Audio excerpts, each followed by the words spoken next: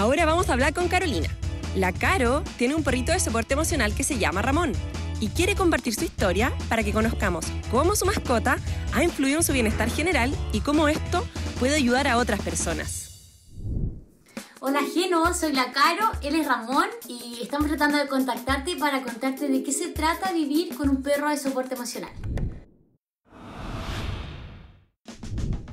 Hola Caro, ¿cómo estás? Hola Geno, muy bien, ¿y tú? Bien, también. Oye, eh, bienvenida a Sumo Animal. Gracias por compartir con nosotros. Y cuéntame un poco por qué nos quisiste contactar. La principal razón es mi perro. Es un perro de asistencia emocional. Su nombre es Ramón. Es un gran danés. Eh, aquí lo pueden ver. ¡Qué exquisito!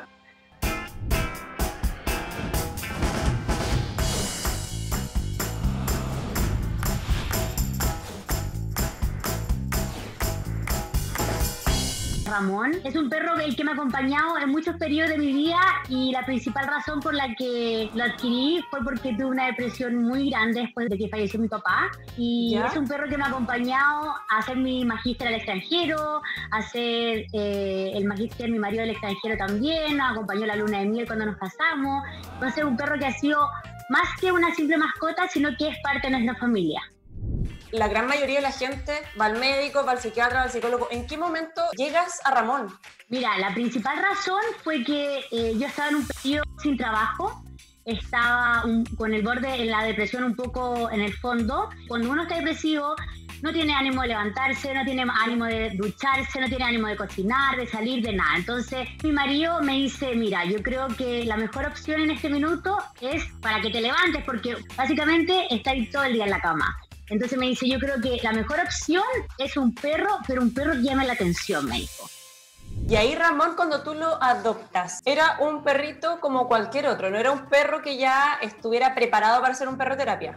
Era un perro como cualquier otro, lo que sí yo sentí que él fue sintiendo esa necesidad de ayudarme cada vez que a mí me daban las crisis. Entonces, ¿qué es lo que hace él cuando está en una crisis, una crisis de angustia? Él se acerca a mí y no se despega. Entonces, Estuvimos entrenando, estuvimos hablando con psiquiatras, estuvimos hablando con distintos especialistas, veterinarios, y me dijeron, claro, si tú le vas enseñando y él reconoce un poco las crisis de angustia, el tratamiento que él hace es un poco como sacarme a mí del foco de la crisis que estoy pasando. Entonces, el empezarlo a acariciar, el empezarlo a abrazar porque se deja abrazar, todo eso eh, a, a ti automáticamente te saca del foco y te calma. ¿Y nunca te ha pasado que de repente tú tengas una crisis y él no lo note? No, no, es todo lo contrario. O sea, de hecho, he invitado gente que, está pasando por malas situaciones, que está pasando por una mala situación sentimental y él automáticamente se pega a la persona. Es no impactante. Sí, es muy No solamente te lee a ti, sino que en el fondo lee, lee, las emociones de todas las personas. Tengo dos tíos con autismo y en el minuto en que yo quise presentarle a Ramón, son tíos que tienen cerca de 60 años. Entonces me daba un poco de temor porque yo pensé que podían ellos reaccionar mal frente a un perro tan grande. Cuando conocí a mis tíos, se sentó con ellos y no se despegó. Entonces yo dije, ya, esto ya es, es lo más lógico de que él sí ha recibido el entrenamiento y sabe por lo menos cómo diferenciar tiene esa sensibilidad que quizá otros perros no tienen. Come mucho. Sí. bueno, desafortunadamente es un perro que es alérgico alimentario y es alérgico tópico. Y ah, fue un poco difícil al principio, pero eh, logramos dar con, con, el tratamiento perfecto, con el alimento exacto que necesitaba, descubrimos sus tipos de alergia. Entonces fue eh, súper como satisfactorio para nosotros después de un largo periodo que él estuvo con mucha alergia.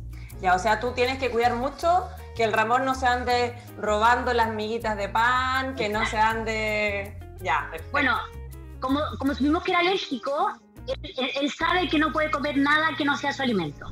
Oye, ¿y el Ramón está todo el día contigo? Porque tú eres profe, ¿cómo lo hace? Mira, bueno, con esto de la pandemia sí, pero cuando previo a la pandemia, cuando yo todavía estaba trabajando, eh, Ramón sabe perfectamente cómo quedarse solo, eh, no se hace dentro de la casa. Lo principal para tener un perro yo creo que es crearle rutinas, porque de acuerdo a la rutina es como él se ordena. La rutina para salir a la misma hora, la rutina para comer a la misma hora. Y en el fondo tener esta rutina nos permite que el Ramón no tenga ansiedad porque él sabe lo que va a venir, él sabe lo que va a pasar y él lo espera tranquilo. ¿Cómo es cuando tú andas con el Ramón en la calle? La gente lo, puede tocar, se puede llegar y acercar. Y aparte de cómo es, ¿cómo crees tú que debe ser? Bueno, en ese sentido Ramón no tiene ningún problema, o sea, él está muy acostumbrado, ha sido siempre expuesto a gran cantidad de gente, eh, acepta los cariños, acepta los abrazos, acepta sacarse fotos, es súper amable y súper dócil en ese sentido.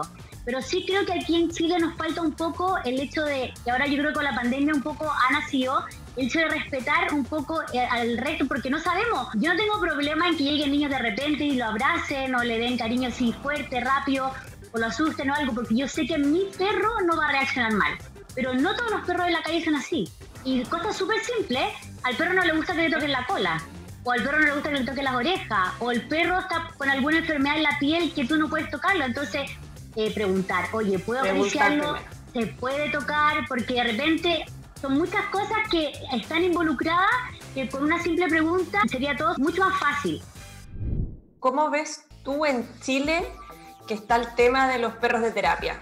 Creo que en Chile falta mucho por descubrir, falta mucho por potenciar, falta mucho por explotar todo lo que es el, el, tema de los perros de terapia. Nosotros en este minuto nos encontramos con Ramón haciendo algunos voluntariados acá eh, algunas visitas a niños que tienen que no han sido todavía diagnosticados con autismo, por ejemplo, porque son muy pequeños, o con Asperger, o con algún síndrome, pero creo que es muy necesario porque es una terapia alternativa, es una terapia que solo trae beneficios, es una terapia que es para el niño que disfruta con el animal, hay niños que les encanta los animales, entonces, ¿cómo no potenciar eso a través de perros que, que son cariñosos con los niños, que se dejan abrazar? Ramón es impactante porque, por ejemplo, ve de repente niños en el condominio y automáticamente él se echa en el suelo para que se suban arriba de él, para que le hagan cariño. Entonces es muy tierno, sabe perfectamente cómo, a pesar de lo grande y bruto que algunas veces puede ser, sabe perfectamente cómo ser suave.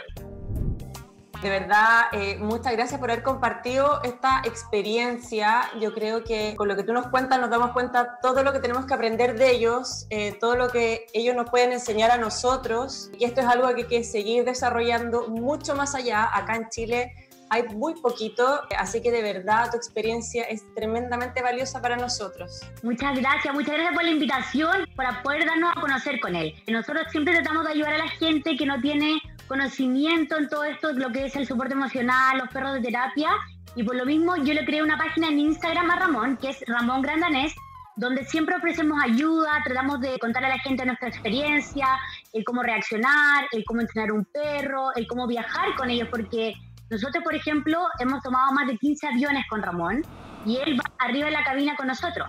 Entonces, hay mucha gente que tiene su perro y su perro le ha ayudado a superar situaciones muy difíciles. Y claro, quizás tú no, no le tienes el nombre como de soporte emocional, pero en verdad eso ha sido para ti. Y también en la, ciudadanía, o sea, el hecho de que yo quiera ir a un café con mi perro porque él se sabe comportar, que me dejen entrar, que no haya problema. Por ejemplo, en Estados Unidos yo iba al mall con él ¿me entiendes? Yo a las tiendas con él. Allá es todo muy pet friendly, que es... Y allá no, nadie te dice nada por ir con el Ramón al restaurante, al café. nada, nada, nada, nada. Todo lo contrario, te aceptan felices, te buscan un lugar, le preguntan a la gente que está alrededor, que no le moleste que esté el perro, porque obviamente tenemos que tener en consideración que hay gente que es alérgica o hay gente que le tiene mucho miedo, entonces ser respetuoso, pero por ambas partes. Caro, te pasaste, muchas gracias por compartir con nosotros y un beso gigante para ti y para Ramón. Muchas gracias, que estés súper, súper bien. Tú también. chao. Chao, chao.